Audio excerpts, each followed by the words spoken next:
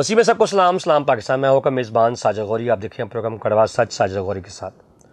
आज हम बात करेंगे लाहौर प्रेस क्लब से, जहाँ पर प्रेस क्लब के मेंबर जो हैं क्राइम रिपोर्टर थे हसनैन शाह, जो कि कैपिटल टीवी के रिपोर्टर थे और बड़े सीनियर रिपोर्टर थे और लाहौर प्रेस क्लब के मेंबर भी थे।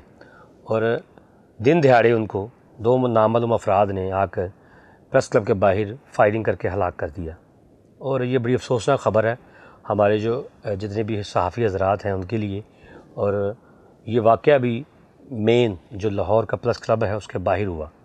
और हमारे साथ लाहौर प्रेस क्लब के मेंबर आशिश जॉन, जो कि सीनियर सहाफ़ी भी हैं और अपना एक अखबार भी चला रहे हैं इंग्लिश, और वो हमारे साथ लाइन पर मौजूद हैं। हम इनसे पूछेंगे कि जो अफसोसनाक वाक़ हुआ है, इसके बारे में आप क्या कहना चाह रहे हैं? जी आशिफ भाई, बताइएगा। हाँ जी, साहिब साहब शुक्रिया मुझे मौका देने के लिए। ये जो वाक्य हुआ है जी, हसनैन शाह साहब साहब के साथ, बड़ा अफसोसनाक वाक्य है और इसकी जितनी भी मरम्मत की जाए वो कम है। अफसोस की बात यह है कि अभी तक का सिस्टम है उतना अभी हालाँकि they have identified the killers लेकिन अभी कोई उसमें पेशरफ नहीं हुई, उनकी गिरफ्तारियों से मुतल मुहरकत इसके जो भी हों, लेकिन बात यह है कि गुजशत कुछ सालों में ना सिर्फ़ पाकिस्तान, बल्कि पूरी दुनिया के अंदर सहाफत से जुड़े जो लोग हैं, उनके ऊपर हमलों में एक बदतरीज अजाफा देखा गया है।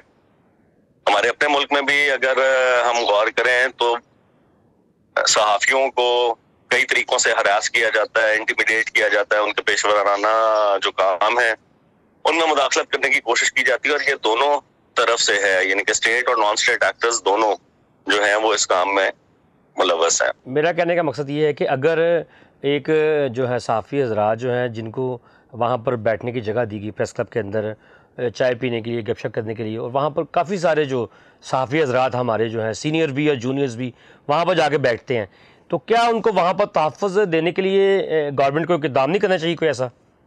देखिए नॉर्मली वहाँ पे जो है पुलिस की प्रेजेंस तो होती है because the area is sensitive बिल्कुल प्रेस क्लब के साथ ही यूएस काउंसलेट भी है उसके अलावा बिल्कुल कुछ कदम के फासले पे पुलिस लाइंस है।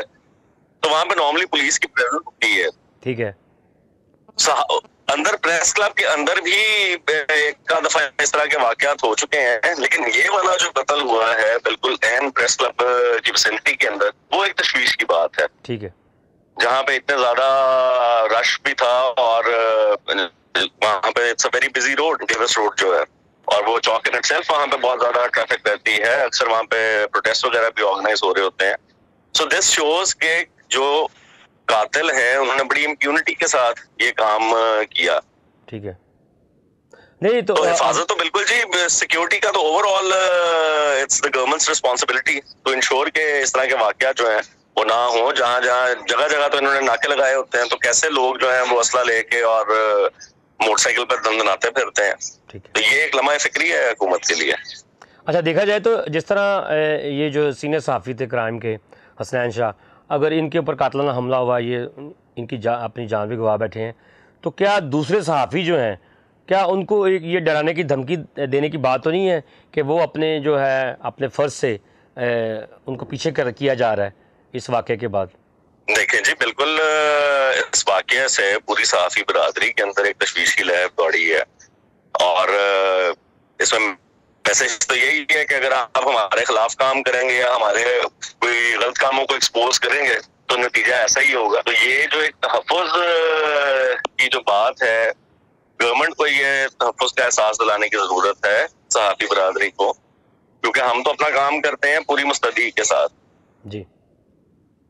सो so, अगर इस तरह के वाकत होते रहेंगे और प्लस नॉट ओनली दिस अगर आप देखें ओवरऑल भी ये तो एक तशद का तो वाक्य जिस तरह के होते हैं वो तो इट्स कॉमन थिंग लेकिन उसके अलावा मुआशी कत्ल हो रहा है सहाफियों का।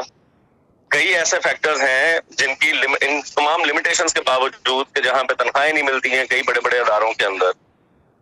सहाफी तो फिर भी अपनी जो है पेशा वराना काम वो तो वैसे ही कर रहे हैं उसके अंदर तो कोई इफ़ेक्ट नहीं आया। तो इन सारी चीज़ों को बहुत ज़्यादा तवज्जो देने की ज़रूरत है गवर्नमेंट को।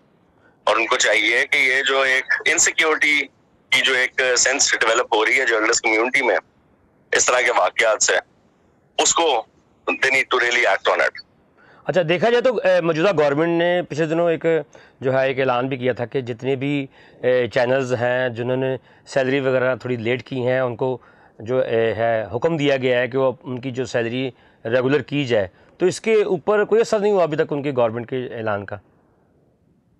देखिए द थिंग इज़ कि जितने भी बड़े अदारे हैं ये सारे अपना अंडर रेट करते हैं अपने रेवेन्यूज को। ठीक है।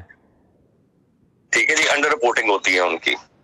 और इवन दो इश्तेहार आज जो है वो टीवी और प्रिंट दोनों को मिल रहे हैं गवर्नमेंट की तरफ़ से भी मिल रहे हैं प्राइवेट सेक्टर की तरफ़ से भी मिल रहे हैं लेकिन वो जो सेठ कल्चर है हमारे मीडिया के अदारों में, बहुत कम ऐसे पेशा वराना पब्लिशर्स हैं who are also linked with the profession कम रह गए हैं अब। अब ज़्यादातर अगर आप देखें तो इट्स ऑल बीन कमर्शलाइज्ड तो वो उसको बिल्कुल एक कॉर्पोरेट माहौल की तरह चला रहे हैं। और सेठ कल्चर की वजह से जो वर्किंग जर्नलिस्ट हैं, वो सबसे ज़्यादा अफेक्ट हुए हैं। अच्छा क्योंकि कोई उनके रेवेन्यूज पे तो कोई असर नहीं पड़ रहा। सैलरीज बहरहाल देते वक्त उनको वो मसला आ जाता है। एंड साइड के जी देखेंगे तो ओवरऑल इकोनॉमिक फॉल आउट है और क्राइसिस चल रहा है तो हम क्या कर सकते हैं? तो उसके अंदर गवर्नमेंट का अभी तक कोई ऐसा कोई प्रैक्टिकल वो देखने में नहीं आया कि वो लिंक करें एडवर्टाइजमेंट्स को with the payment of timely salaries national news नामा जो हमारा न्यूज़ चैनल है हम इस वाक्य की पुरजोर मजम्मत करते हैं। तो हमारे प्लेटफार्म से आप गवर्नमेंट को पैगाम देना चाह रहे हैं? जी मैसेज तो यही होगा कि सहाफ़ियों को मुकम्मल तहफ़ प्रोवाइड करने की ज़रूरत है। ना सिर्फ़ उनके जान का तहफ़ बल्कि उनकी जो माशी तहफ़ है, वो भी बहुत ज़रूरी है। हमारा काम जो है it is to bridge the gap between the people and the government तो हम कोई एंटी गवर्नमेंट नहीं है, हम कोई एंटी सोशल एक्टिविस्ट नहीं है। सो हमें उस नज़र से ना देखा जाए, बल्कि इस जो एक मीडिया का जो रोल है, एक बड़ा कलीदी किरदार है। हमारा काम है करप्शन को एक्सपोज करना, हमारा काम है मुआशरे के अंदर जो सोशल इल्स हैं, उनको सामने लेके आना। तो उसके लिए हमें मुजरम ठहराने की ज़रूरत नहीं है। इन मसाइल के ऊपर तोज्जो देने की ज़रूरत है। जी, बहुत शुक्रिया आशिर जॉन, जो कि लाहौर प्रेस के मेंबर भी हैं और उन्होंने हमसे रबता किया और हमने जो है, जो हसनैन शाह, जो क्राइम रिपोर्टर थे कैपिटल टीवी के, उनको दिन दिहाड़े लाहौर प्रेस के बाहर कत्ल कर दिया गया। और मेरा ख्याल है कि लोग गवर्नमेंट की तरफ़ से इन्वेस्टिगेशन जारी है और सुना है कि मामला काफ़ी हद तक जो है कातलों को पकड़ने तक पहुँच चुका है। तो मेरा ख्याल है कि इस वाक़े से, जो कि बिल्कुल लाहौर प्रेस क्लब के बाहर हुआ है, जहाँ पर एक जो है गम गफ़ीर जो है सहाफ़ियों का वहाँ पर आता है और वहाँ पर खाना पीना, चाय और गपशप चल रही होती है। सीनियर सहाफ़ी और जूनियर सहाफ़ी सारे वहाँ पर बैठ के एक दूसरे से जो है रिपोर्टिंग के हवाले से बातचीत कर रहे होते हैं। अगर सहाफ़ी बरदरी को इस वाक़े के बाद शायद डराया जा रहा है कि वो जो है, अपने जो है, कलम से, जी या अपने जो ज़ुबान है, उससे सच ना बोलें।